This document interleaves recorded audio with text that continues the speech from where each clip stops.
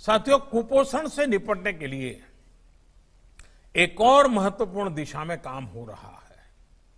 अब देश में ऐसी फ़सलों को बढ़ावा दिया जा रहा है जिसमें पौष्टिक पदार्थ, जैसे प्रोटीन, आयरन, जिंक इत्यादि ज़्यादा होते हैं।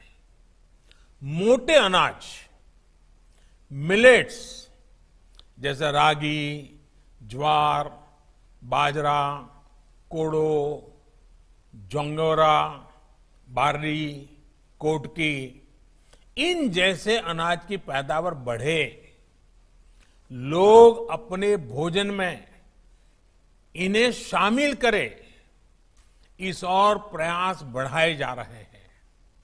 मैं आज एफएओ को विशेष धन्यवाद देता हूँ कि उसने वर्ष 2023 2023 को इंटरनेशनल ईयर ऑफ़ मिलेट्स घोषित करके भारत के प्रस्ताव को पूरा समर्थन दिया है।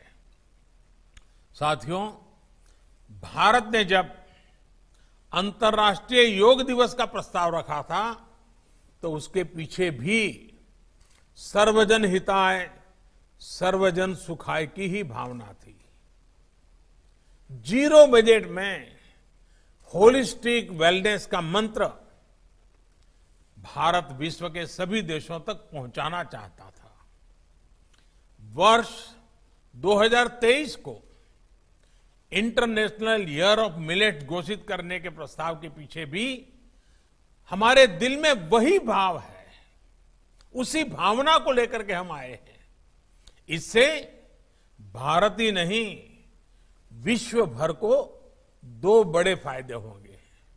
एक तो पौष्टिक आहार प्रोत्साहित होंगे, उनकी उपलब्धता और बढ़ेगी, और दूसरा, जो छोटे किसान होते हैं, जिनके पास कम ज़मीन होती है, सिंचाई के साधन नहीं होते हैं बारिश पर निर्भर होते हैं। ऐसे छोटे छोटे किसान, उनको बहुत लाभ होगा। ये छोटे और मंझोले किसान ज़्यादातर अपनी ज़मीन पर मोटे अनाज ही उगाते हैं। जहाँ पानी की दिक्कत है, ज़मीन इतनी उपजाऊ नहीं है, वहाँ भी ये मोटे अनाज की पैदावार किसानों को बहुत मदद करती है।